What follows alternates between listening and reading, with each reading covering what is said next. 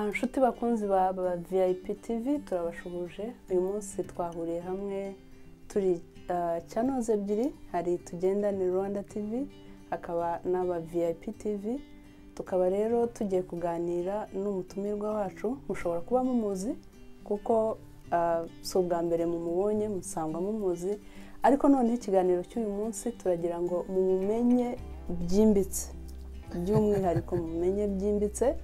Mumenye umuntu mwajyaga muganira nawe ubundi yenda mwajyaga muba ku ba vip tv ariko mutazi mu by'ukuri umuntu murimo kuganira nawe. Uyu munsi rero turi kumwe nawe twamubazaniye twamutumiye tugiye kuganira nawe kugira ngo mumenye mumusobanukirwe mumenye neza uwo ari we hanyuma n'ibindi turagenda tubiganira uko ikiganiro kigenda kijya imbere gaheri tugahaye ikaze. Ndanezerewe cyane murakoze cyane kutumira abakunzi ba vip tv bajyaga bakubona mu mashusho utwigisha financial coaching uduhariye amasomo yose. Meza kandi dukunda. Ariko mu by'ukuri ntabwo bazi neza ngo gaheri ni muntu ki. Gaheri ni muntu ki? Gaheri ni muntu ki? Gaheri ni umupapa. Nkaba of course ndi n'umufite umugore nkunda cyane witwa amanda nkagira umwana witwa isaya tukaba iminsi iri imbere tunategereje undi nawe ugiye kuza. Urumva ni ukuva mu bwiza tujya mu bundi. So urumva rero mu minsi mike nzaba numva ndi umupapa w'abana babiri. Hanyuma nkaba nkiri muto cyane kandi nanone si ndi muto cyane nkaba naravutse muri 1988 nkaba ntuye hano muri muri Maine muri state ya ya Maine hano mu gihugu cya Amerika. Nkaba nkunda abantu umuryango nkaba mu byo nkora by'akazi nkaba ndi umu business person hanyuma nkaba n'umu investor muri real estate. Ariko nkaba n'umu financial coach. So mu magambo make ni ubundi. Turumva urimo ibintu byinshi. Uri umuntu umwe ariko urimo ibintu byinshi byinshi bitandukanye. Turaza kugenda tuvuga kuri buri kintu igice cyacyo buri kintu buri kintu turagiha umwanya gatoya kugira ngo abakunzi baba vip tv ndetse n'abatugendane rwanda tv bagusobanukirwe bamenye uwo uri we. Turagira ngo tubwire muri make urugendo rwa no reka dutangirire kuba uriwe n'ubundi ni ho tukiri ibindi turaza kubizaho nyuma. Iyo utari muri financial coach ndashaka kugira ngo ubwire abatureba ikintu cy'umwihariko bashaka kukumenyaho ikintu cy'umwihariko ushatse kuba nk'ikintu wenda baba batari banzi yesi yesi ikintu cy'umwihariko bashobora kuba abantu benshi batazi ndi umuntu nubwo abantu benshi nyine banzi mu buryo bwa bizinesi na financial coaching ariko ndi umuntu ukunda imana icyo ni ikintu wenda nibaza ko abantu benshi batamenya. Umuntu ukunda imana hano rero kuri icyo kintu cyo gukunda imana bigatuma nkunda n'abantu. Kuko nibaza ngiye ko ariko gukunda imana nyako bikwiye kumera. So gukunda abantu so ibintu byinshi nkora biba biri centered cyangwa se bigaruka aho ngaho nyine mu gufasha abantu mu buryo bumwe cyangwa mu bundi. Numva ari icyo. Numva ari icyo vraiment nibaza ko abantu baba batazi hari ikindi na cyo wenda abantu bashobora kuba batazi. Mu buzima bwanjye bwa buri munsi ndi umuntu ukunda guseka no gusetsa abantu. Donc ndi umuntu kabisa abantu benshi ntabwo bakizi kuko abantu benshi tunahura mu by'akazi babona turi mu bintu bya serivisi gusa. Ariko vraiment ndi umuntu ukunda kwicara ngasetsa n'abantu tukaganira donc hari hari umugaraho n'inyama z'ihene donc ako kari akanyuzemo reka dusubire yenda inyuma ho nko mu muryango aho uvuka mbere y'uko uza muri amerika. Turumva uravuga ikinyarwanda bivuze ko uri umunyarwanda. Ese waba waravukiye mu rwanda? Waba se waravukiye mu bihugu by'abaturanyi? Kuko kubera amateka y'u rwanda abantu bose bazi abantu benshi twagiye tuvukira aho ngaho hakurya cyangwa se hakurya y'imipaka y'u rwanda. We waba waravukiye hehe muvuka muri abana bangahe? Uruwa kangahe? Ese byagenze gute? Waje byari muri amerika? Byagenze gute kugira ngo ugere muri amerika? Turagira ngo ugende ukoraho gake gake kuri utwo tubazo usubizaho gake kugira ngo abantu basobanukirwe bakumenye uwo ari we neza byimbitse nk'uko nabivuze ngewe navukiye i burundi. Ngewe rero niyo mpamvu buriya akenshi hano njya nkunze kuba ndi kumwe n'abarundi bakavuga ati ariko twumva uvuga ikinyarwanda. Najya mu banyarwanda nabo bakavuga ati ariko twumva uvuga ikirundi. Nabuze aho njya ni hagati. Dore ngewe ndi umu east africa. So ndi umu muri rejo kabisa ya grand lake so navukiye i burundi mbi burundi dukurira i burundi n'amashuri agenda yatangira i burundi. Ndetse na nyuma yaho twaje no gusubira i burundi. Donke burundi naho ni mu rugo. Ariko no mu rwanda twagiye mu rwanda mpiga primaire na secondaire. Urumva mu muryango tuvuga turi abahungu bane n'umukobwa umwe mukuru. Ngiye urumva mu bahungu ndimfura niyo mpamvu wamenye ubwenge kare. buriya wasanga. Niyo na n'ababyeyi bacu papa na mama ni abantu baturize neza mama yari ahari yari mu rugo buri munsi.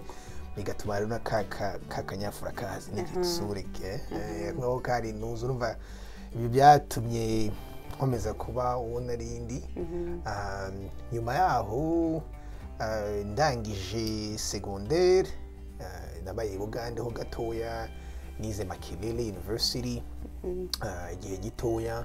Nyuma yaho rero mbona opportunity yo kujya muri india naho makora amashuri nize ibintu bya statistique n'imibare.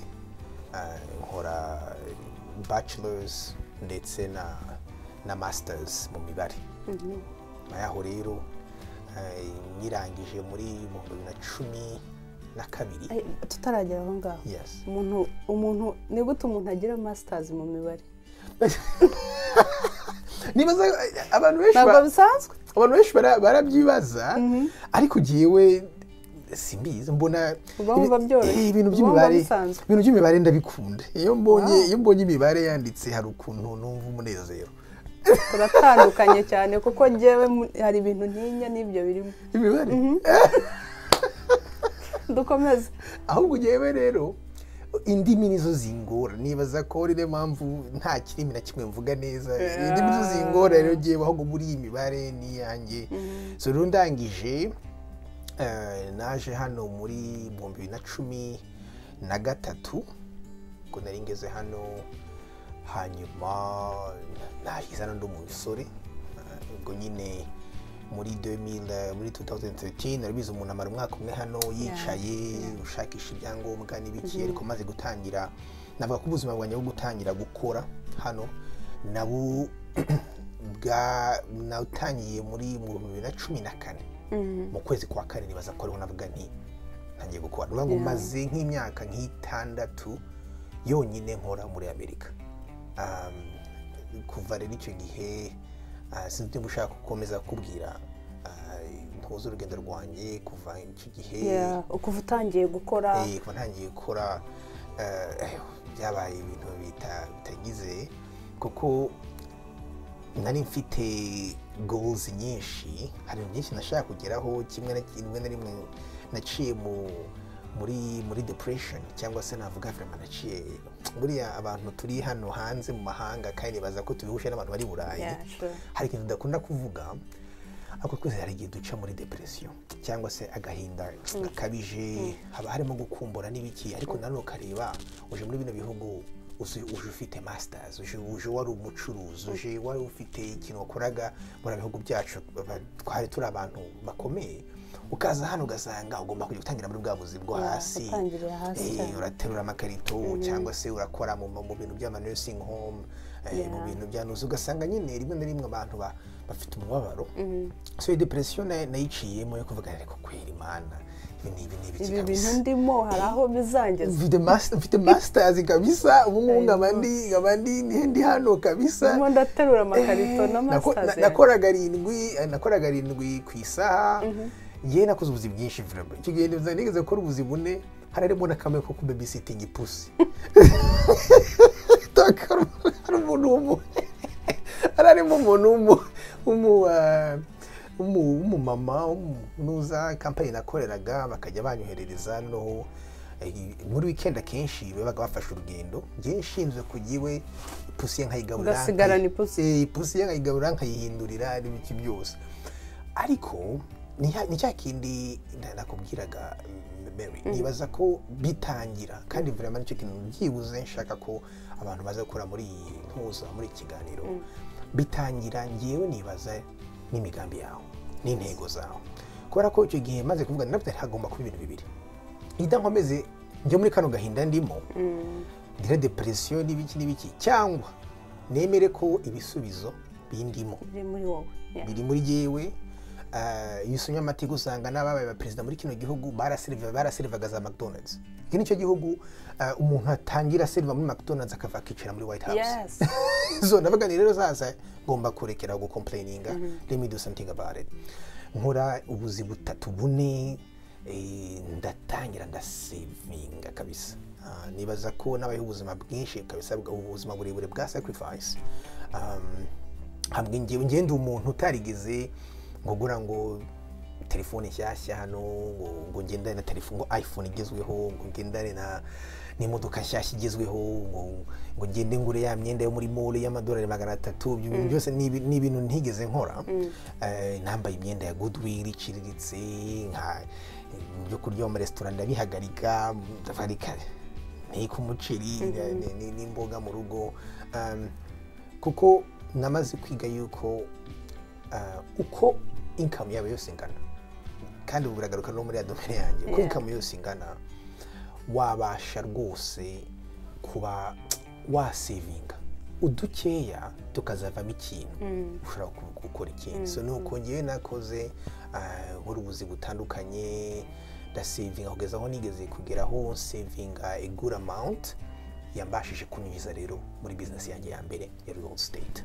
Tukiri aho ngaho turaza kugaruka kuri kuri bizinesi yawe ya mbere. Reka tubanze dukure utu ngutu mu nzira. Hari yenda ibintu umwana iyo arimo gukura nko mu rugo mama abakuzi bakuru bakuruta ubu ngubu bajya bakubwira bati kera wabaga umeze gutya na gutya? Mama yakubwira ko kera wari umwana umeze gute? Eh, mama cyangwa na papa cyangwa undi muntu ukuruta mu rugo abantu bakuze uri umwana? papa na mama n'ubu ngubu turaganira ni ababyeyi bacu batureze mu buryo bwo kutugira inshuti turaganira tugaseka n'ubu. Eh, kandi bakunze kutubwira cyane ko twari tumeze. Gusa icyo nzi bavuga ko jyewe nakuze ndi umwana wonka intoki Eh, n'umwana wanjye kandi nabyaye yarazonga yonka urutoki so bangura abana bonkera intoki ubundi baba bazi ko ari abana bitonda. Eh, donc jewe nabaga ngo baramira ngo genda uyu mwana wanjye ushobora kumusiga ahantu yiririye yihagiye icomeka intoki ukaza kuhamusanga so nari umwana urumva witondewe Yeah. w'amahoro impamvu nkubajije iki ngiki ni uko ah, ndashaka kwereka abantu yuko uko wakuze cyangwa se uko wavutse cyangwa se ibintu byose ushobora kuba warabayemo ukiri mutoya ntaho bihuriye n'uwo uri we uyu munsi. Ushobora kuba warabayeho 100%. nabi cyangwa neza. 100% ni ibintu byose bishobora guhinduka mu gihe icyo ari cyo cyose. Ibyo ni ukuri. Niyo mpamvu rero nashakaga kumva yuko yenda uko wari umeze kera byaba bifite aho bihuriye na gaheri tubona ubu ngubu. Yes. Kuko um, yego cyane ijana ku ijana. Ngewe nkura mu rugo nta na rimwe nibuka ubwo urumva kandi abana bane mu rugo eh, baba ari abana uba wumva ati ni abana bakeya mu muryango wo muri afurika yes. Ariko nta na rimwe nubwo twari batanu n'ababyeyi bacu nta na rimwe nibuka mu buzima bwanjye. Kuva nkiri umwana kugeza n'ubu iwacu hari abantu bari munsi y'abantu icumi buri munsi. Ni ukuvuga ngo ku meza yacu papa papa n'uburyo yabikoraga we yamara kwiyarurira agahita ajya kwicara muri salo. Akadusigira Ame- ame- ameza. ameza kuko habaga hari aba- aba- abakuzini Yeah. abatonto abatante. Twabanaga mu rugo. Eh, twasangiraga ibintu byose. Ni ngo icyo kintu vraiment cyaramfashije cyane no mu buzima bwa hano mu kubasha kuvuga nti ntangiye korewe amadolari reka mfate inzu nziza mfate iki mfate iki. Kubera ko nakuze mu bu- mu buzima bwo kumva yuko no twasangira. Twaryama ku gitanda kimwe twa- twagira iki? Twasaranganya. Mm. ibyo byatumye vrema nkura mfite kamere yo kunyurwa. Ndanyurwa Eh, ndanyurwa ku buryo eh, niyo mbwiye abantu benshi ngiye vrema ukuntu nabashije kuba hano ngiwe naragiye naracumbicumbitse hano naragendaga aba bantu ba- bagiye nkaba- kuko nanjye hari aho nacumbikiye nkiri muri giye nkabacumbikira nanjye maze kugira hari aho nagenda nkacumbika nkabacumbikira ngo sinkodeshe inzu. Ariko byose icyo kibazo mbaje ni cyiza cyane byavuye he? Kuba ariko no muri nakuze mu rugo sharing. Urumva hari umu- hari umuntu mugani kuva ngo eh ngo ngiye inzu ngo nabona abantu n'umuntu mu cyumba. Mm. ngo nabona abantu najya abana umuntu ku gitanda. Yewe nakuze turyamana n'abantu dusharinga ibintu byose. So yes i think biragushepinga kabisa uko uko wakuze iculture y'abantu benshi yo gusharinga bike yo kunyurwa n'ibyo mufite. Ah, icyo ni ikintu vraiment.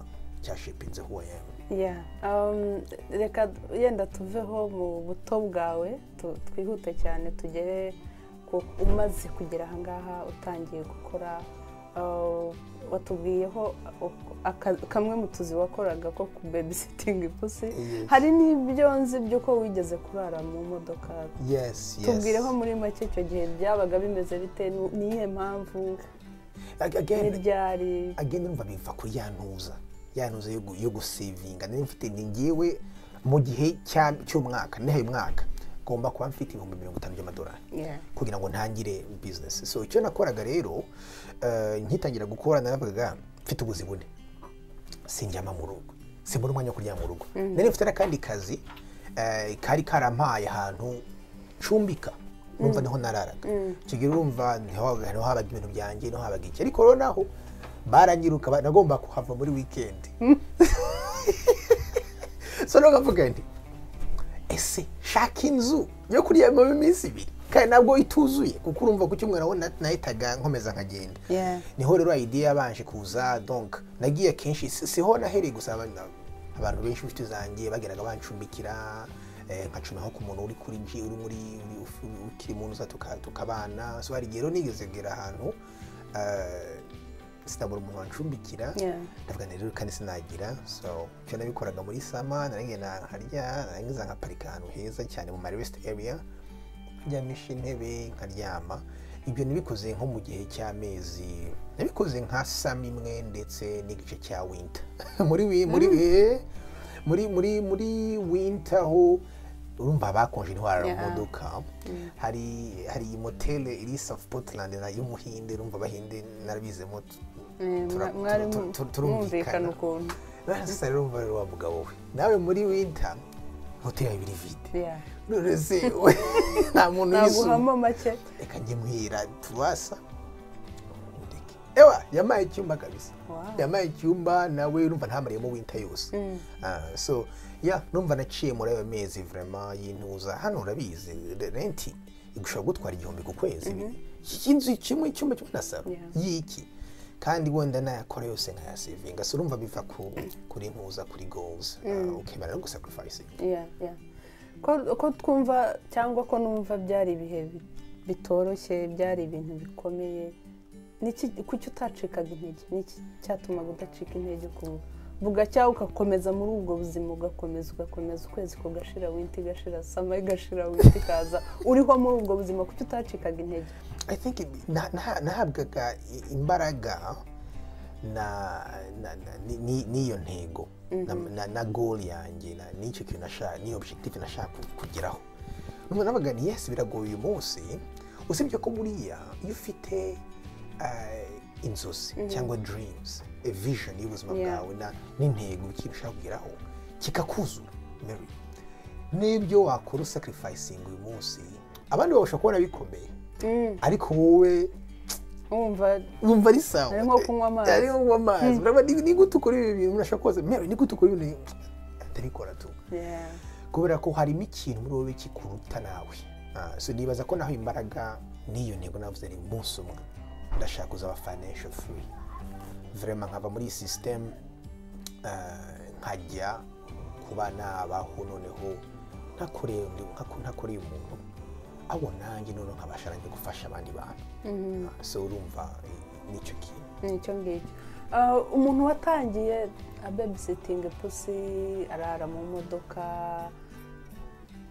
duha ishusho yo kuva muri ubwo buzima ukaba ugeze ubu ngubu aho tubona ubu ngubu. Byagenze gute? Ni iki cyagufashije? Ese icyo gihe ukora utwo tuzi twose tuzi tugera kuri tune?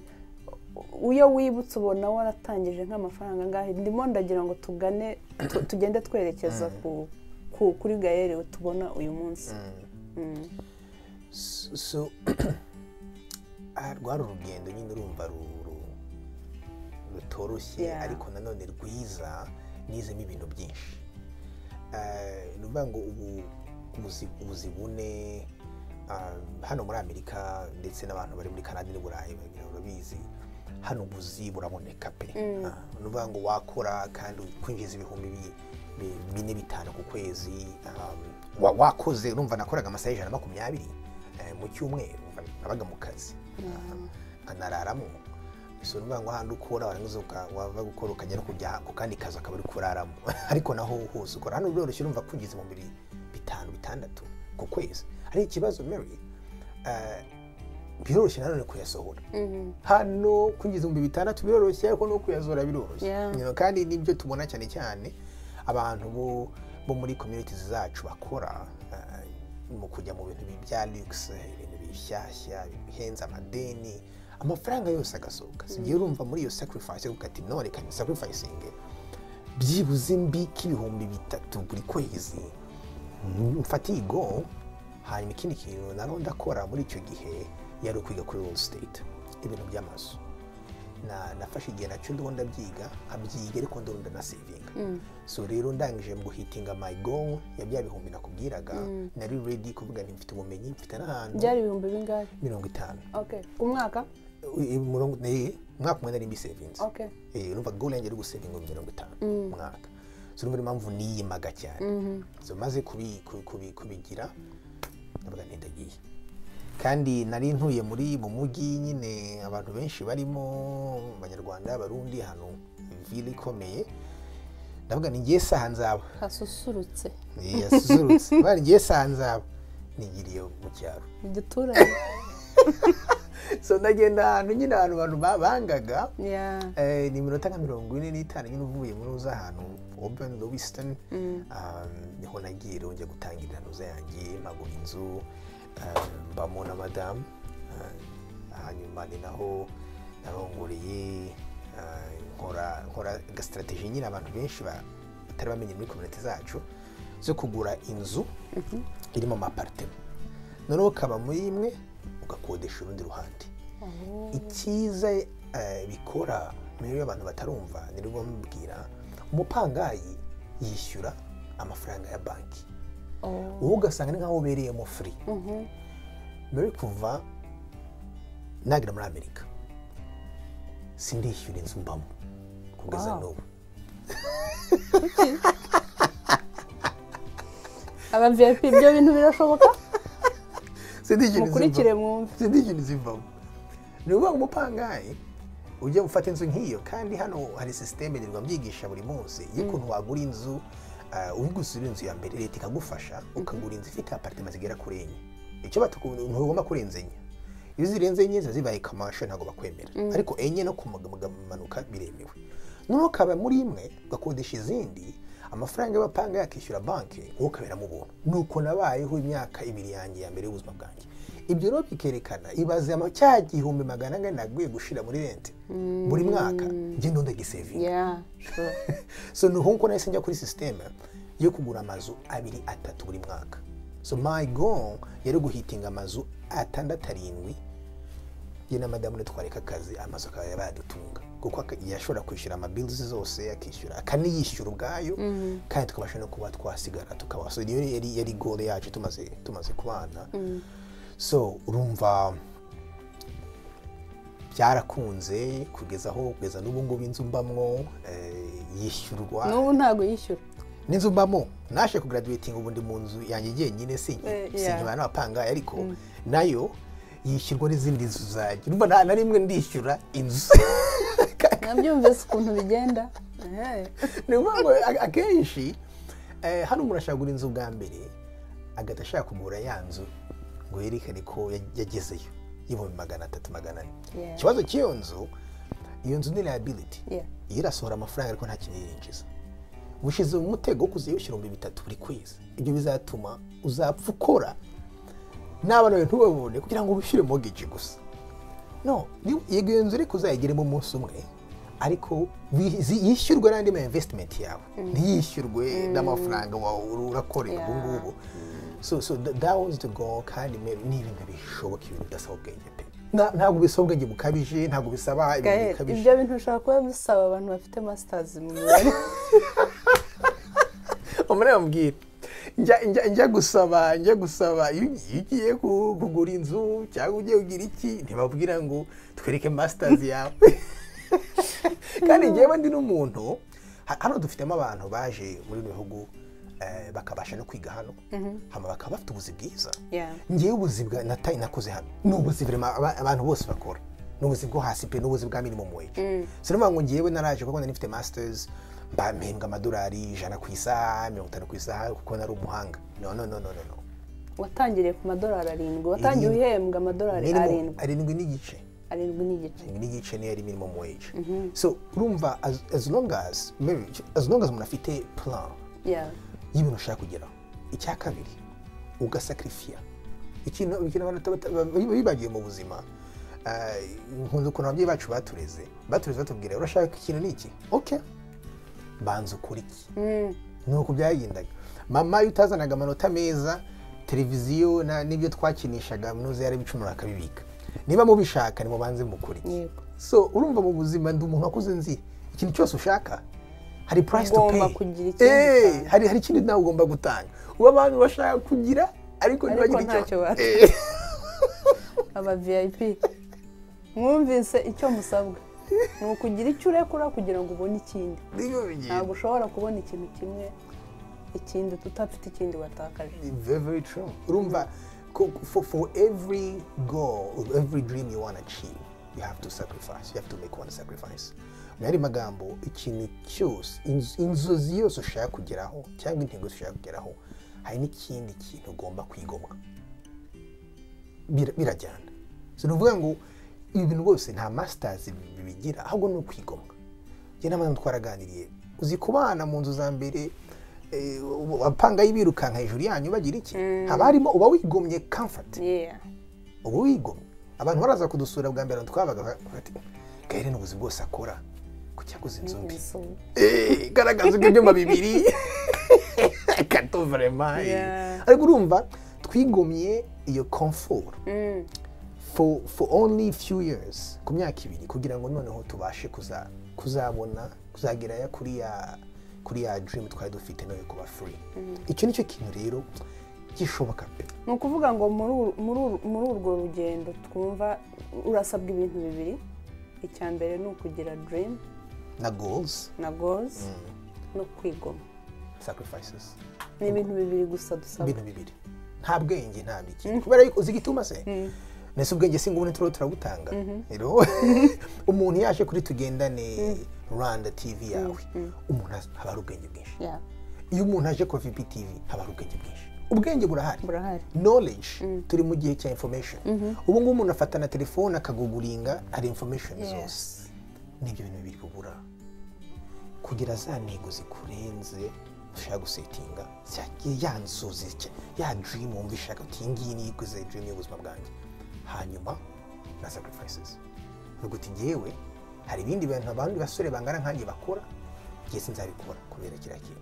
Hari ikindi kintu abandi bakobwa bameze nkanjye bakora? Njye sinzabikora kubera kiriya kintu. Ariko gael twigeze ah, wigeze kutubwira yenda nk'ukuntu mwarezwe ah, nk'urugero wari umaze gutanga uti mama iyo wabaga ushaka ikintu runaka icyo twavugaga cyo kuba ufite ikintu runaka ushaka hari icyo ugomba kwigoma iyo wabaga ushaka akugurira ibikinisho mu rugo n'ibiki byose amanota meza wagombaga kuyazana ukayerekana. Yes yes yes. Umuntu utaragize amahirwe yo gukura muri ubwo buryo cyangwa kurerwa muri ubwo buryo ubu ngubu akaba yarisanze ari umuntu mukuru ukeneye kuba yagera kuri ibyo bintu ariko adafite ka kantu k'inyuma ko yavanye mu buto. We yabigenza ate? Nihe nama wamugira? Inama namugira ari inama eh, ngiye kuvuga mu ijambo rimwe. Mhm. hinduka.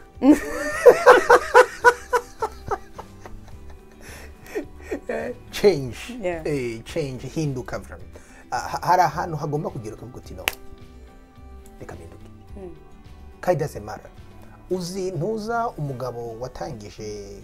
Izi ntuza intuza ikomeye cyane ya KFC Kentucky Fried Chicken. Founder wayo. Yayitangiye afite imyaka mirongo itandatu.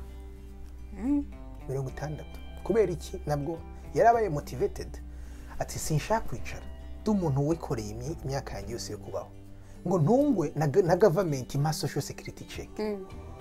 Atekereza ikintu yakora muri retirement. Ye kubera aho ngo kwicara mu rugo. Atangira akaranga ziriya nyama reba yavuyemo ntuza urumva matter niba ugeze muri uri mukuru. Hari n'abandi bantu bavuga ati ngo naje hano ninze mu cyongereza biragoye kukiga? N'iki n'iki no no no. Wadisayidinga wadisayidinga ugahinduka uyu munsi. Byashoboka. Byashoboka. Byashoboka. Hari ababikoze? Ababikoze kandi ntacyo baturusha. Aba vip nta gihe kirashira. Nta gihe nta mbere y'igihe nta na nyuma y'igihe. Igihe ni iki ngiki cyo guhinduka? Ibaza umuntu kuba umubiriyoneri atangiye bizinesi ye afite imyaka mirongo itandatu. Mirongo itandatu. Numva nta excuse. I don't think that nta excuse. Um, ka- ka- kandi nkunda ukuntu T- tv yawe yitwa tugendane. Ni na cyo kintu wenda nibaza abantu benshi nabwo kuko nyuma gato ngarutse kuri ntuza urumva naje kujya muri ntuza noneho njya bumu investor kabisa muri all state turaza kugera aho ngaho. Eh, ariko kindi mu bintu nize ni uko iyo havuyeho yego na sacrifice n'ibiki byose kiri kintu na cyo wiga no kugendana n'abandi bantu. Nabyo ni very very important kuko none sinakwicara ngo mvuge gusa ngo ibyo nagezeho byose yari gusa goals zanjye na sacrifice. ahubwo n'abantu nabo baraje. Harimo abantu bamwe bagiye baza mu buzima bwanjye vraiment. Baranyiga bamfata ukuboko baramfasha vraiment. Ah, baramfasha. Abo bantu rero ngize amahirwe ugisa naho ugikomozaho abo bantu ni bande? Ese umuntu wese kugira ngo abe yagira icyo ageraho bikenera ko agira abantu bamufata ku kuboko? Ijana ku ijana. Ijana ku ijana. Um, njye nawe tura- tu- turabyemeranya ijana ku kintu cyo kugendana n'abantu. Wahoza nambwira ko ariyo ariyo ntuza Niyo moro ya ntuza yawe ya moto ya tv yawe. Ko ushaka kwihuta genda wenyine. Ariko niba ushaka kugera kure.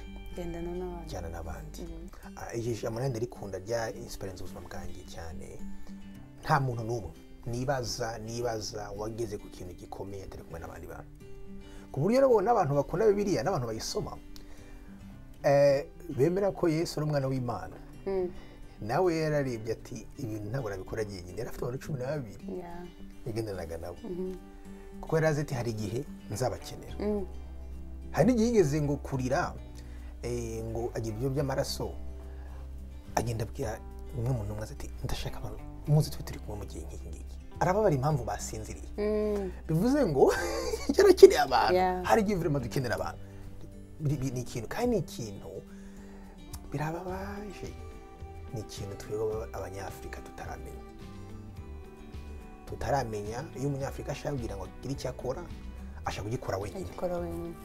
Kugira ngo yumve yuko iki ni icyanjye iko ni kwa runaka ni kwa gayeri ni- ni kwa meri ntabwo bariga kumenya nkeneye umumento nkeneye umuntu wazana. Hari hari intege nke mfite uriya wundi we afite nka strength. Reka twicare tubikore. Ariko iyo urebye kampani zose zikomeye hano njya nkunda gutanga urugero ku muntu Jeff Bezos wa Amazon. Amazon niyo kampani ya mbere ku isi ikomeye. Jeff Bezos ni we wari uwa mbere ku isi ukomeye w'umukire ku isi. Nta nubwo afite eh, shares afite muri Amazon ntabwo zirenze cumi na kabiri ku ijana. Umuntu yakwibaza miliyoni mirongo inani n'umunani ziri he? Ziri mu bandi bantu. Yagiye aziha. Kugira ngo mufashe gutangira kampani iki ni cyo kintu kandi amakampani yose akomeye ngaha yaba za apple yaba za za, microsoft za ba- bill gates. Bose ni ikintu bize tutazi. Ya- agira idea agatangira gushakisha abantu. Abo bafatanya.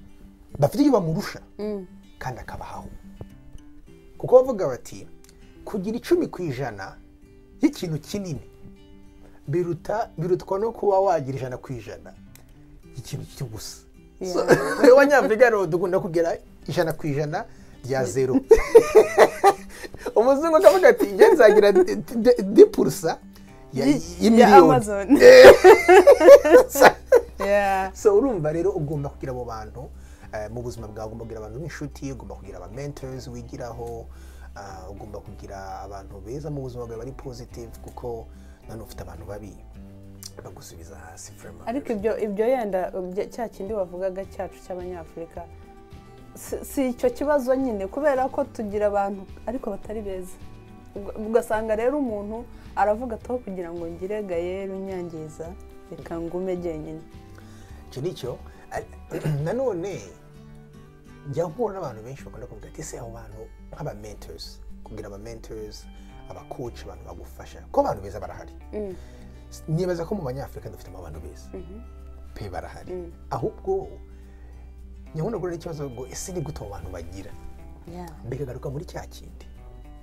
Abantu ugomba uzi- uzigiraho ikintu mbere abantu uzigiraho ikintu abantu bazagufasha mu buzima bwawe. Ah, hari abaza yego bajemo gusa nka gift. Ugasanga vrema bari mu nzira muri kumwe. Ariko abandi aba bitwa ingwizamurongo Eh, ariko abandi ugomba kujya kubashaka abo bazaza bafite ikintu. Ariko umuntu nawe ugira icyo utanga.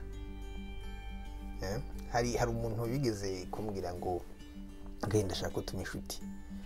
Ngo tuba inshuti hawe ntabwo ntabwo bishoboka. Ntabwo wasaba umuntu kuba inshuti. Ahubwo nawe ugira ikintu utanga mu buzima bw'uwo muntu. Niko bigenda.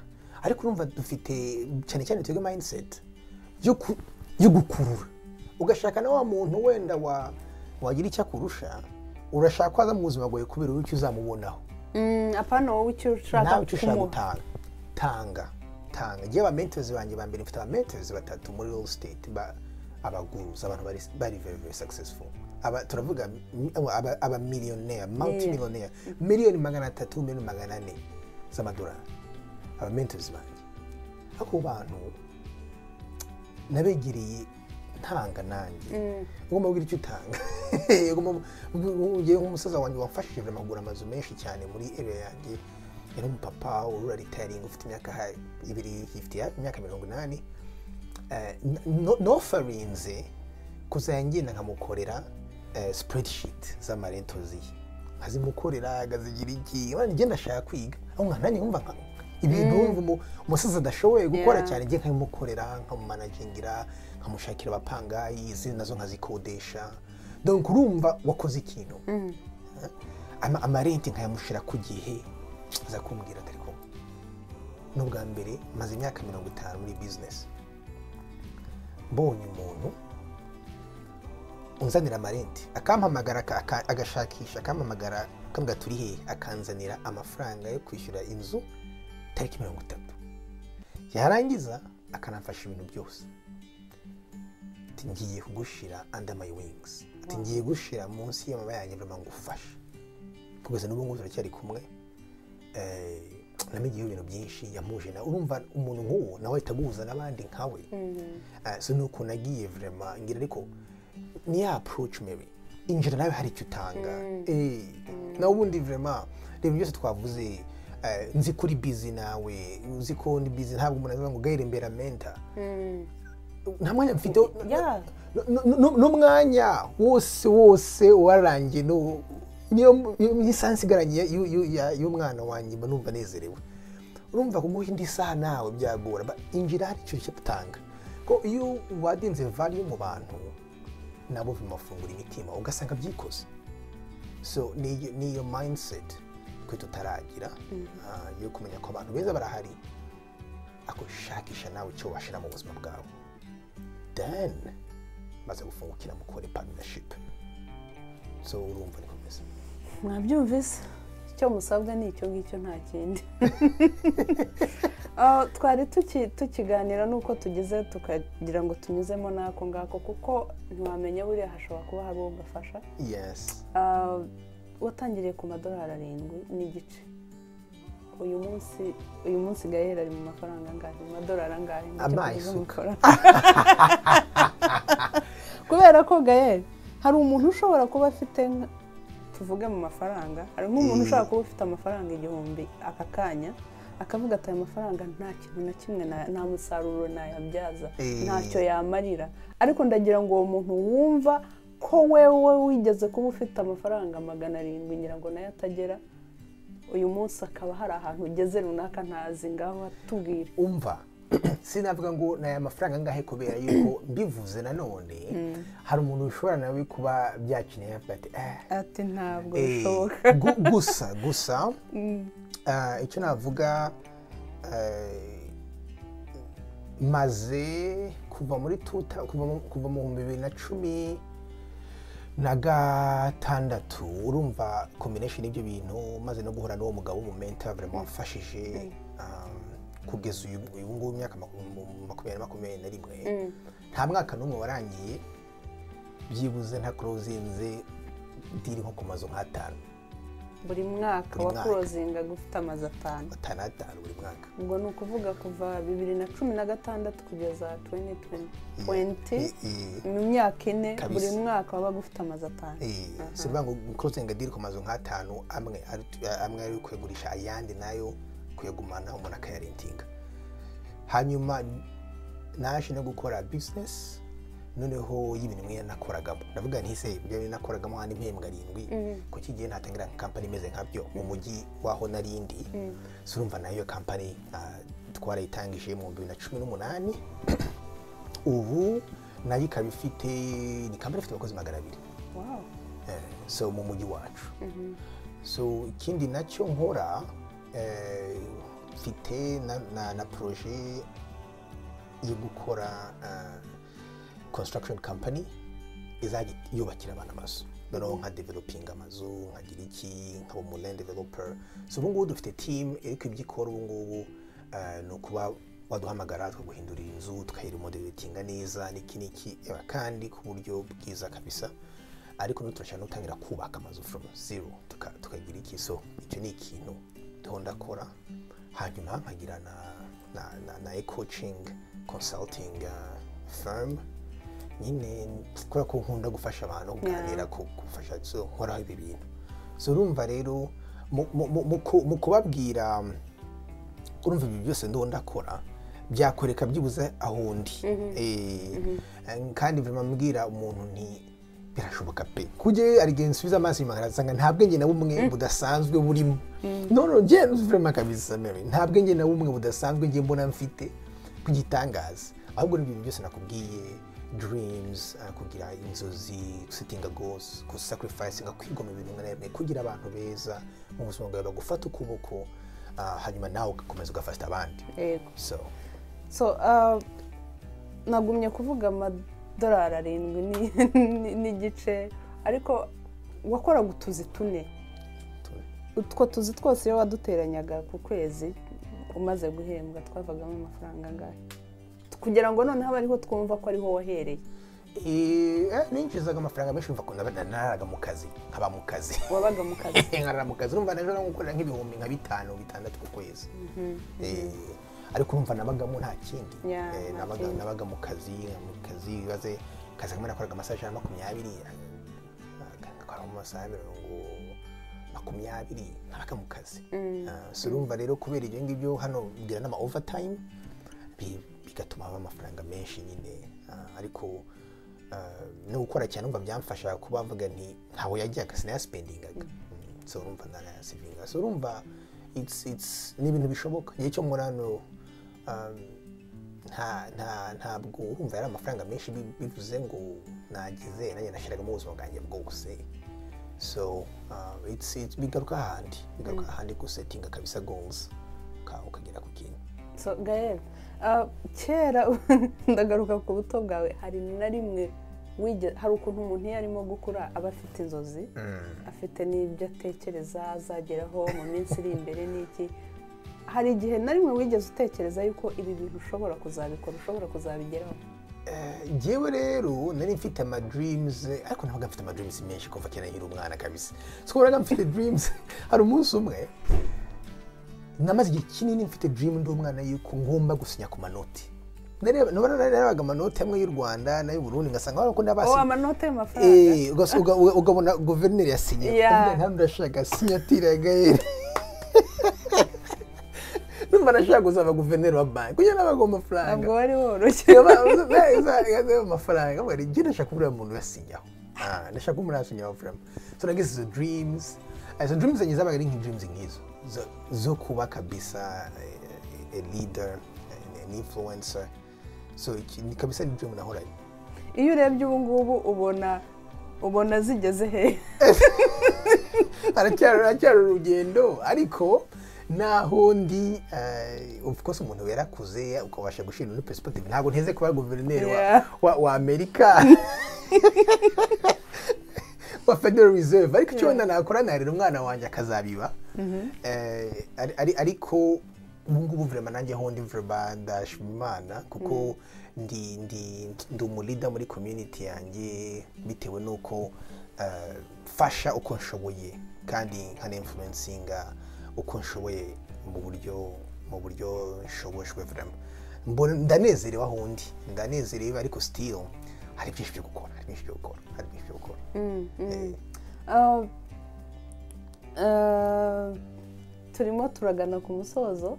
Ah, ni iki- wabwira urubyiruko abakiri batoya nabo bashobora kuba bafite inzozi nk'izo zawe cyangwa se n'izindi zitandukanye ariko nanone bakaba bafite challenges bafite imbogamizi mu kinyarwanda niko yes. Bakaba bafite ibindi bintu bibahagaze imbere babona bikomeye badashobora kunyuraho. Ni iki wababwira cyabafasha kugira ngo ibyo bintu babikure mu nzira bakomeze? Ndababwira amagambo atatu ku bantu bakiri batoya. Abantu bakiri batoya ijambo rya mbere. Birashoboka. Birashoboka 100% nimugire hope. Ijambo hope ibyiringiro cyangwa se ni byo mu kinyarwanda bavuga kwizera kandi mbese gutyo ibintu bishoboka ni key. Mary umuntu akwibye ibyiringiro babirangiye. Babirangiye. U- uba usigaye ugenda burere ku warapfuye. Ugomba kubigira. Birashoboka kabisa ijana ku ijana. Ah, iki ni cyo kintu abantu benshi batakigira. Si ibyiringiro ni icya mbere. Ikindi kintu cya kabiri ni ni mwige skills.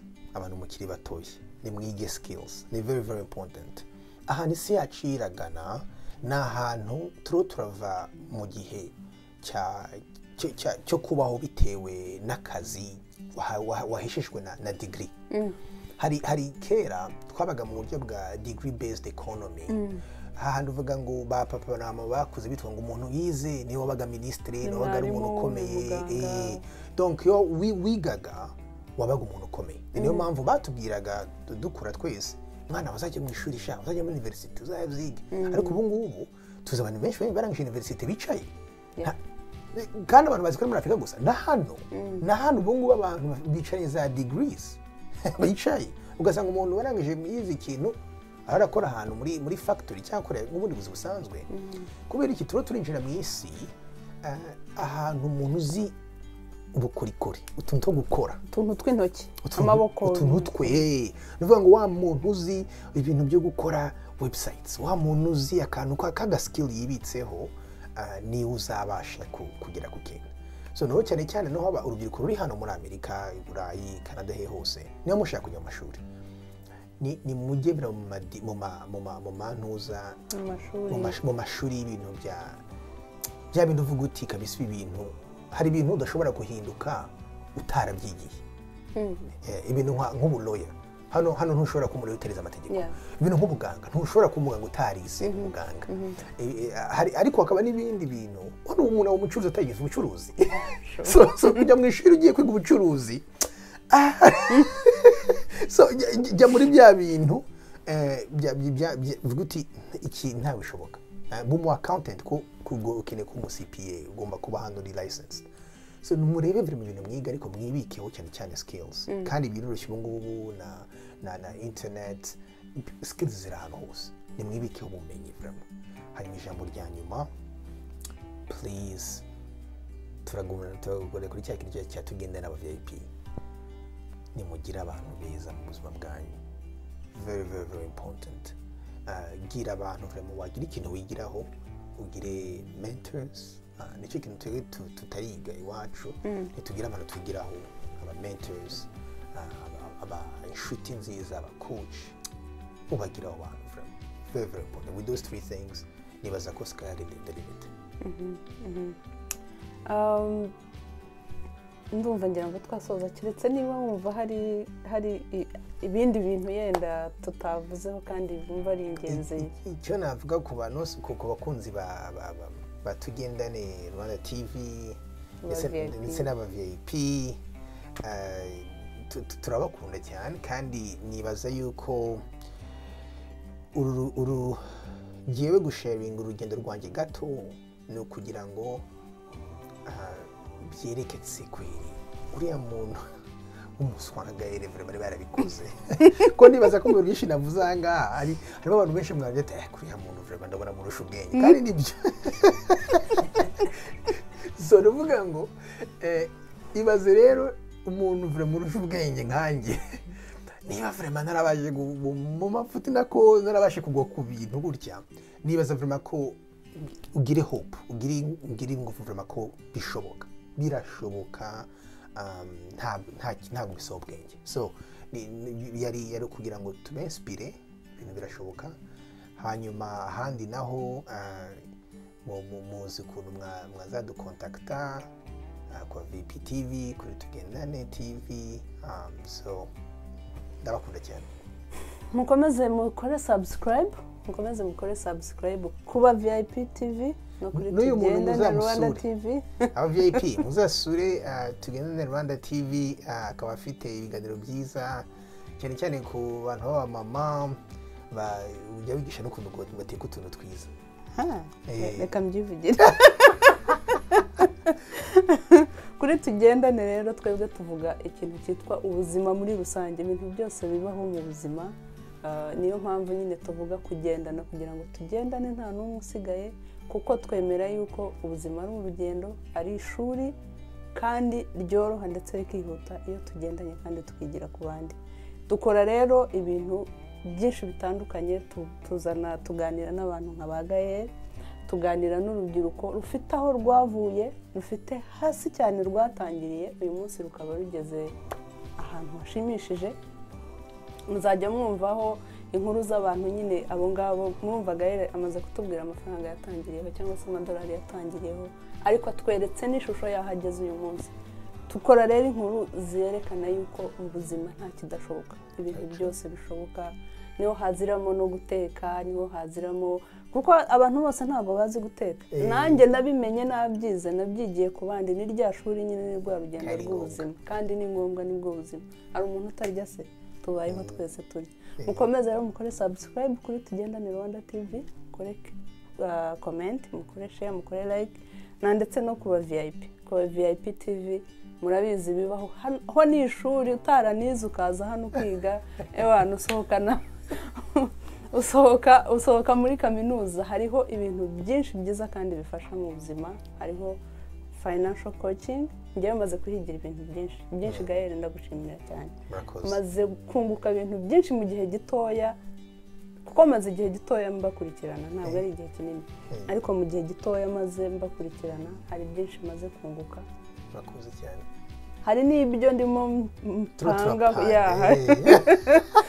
turimo turateka turi mu gikoni turateka mu minsi ya vuba turaza kuba twahishije twaruye dusangire wenda nanjye nzagutumira noneho nawe uriho urambwira Mhm. urugendo rwawe umunsi uri imbere Oh, I can't wait Oh, urakoze cyane urakoze cyane kumpa uyu mwanya Mm. Ah, kandi n'abakunzi bawe ba- ba ba tv yawe nabo ndabashimiye so thank you You're welcome.